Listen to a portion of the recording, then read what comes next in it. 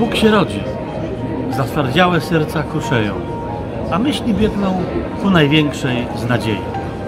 Nadziei, że my też możemy się na nowo odrodzić.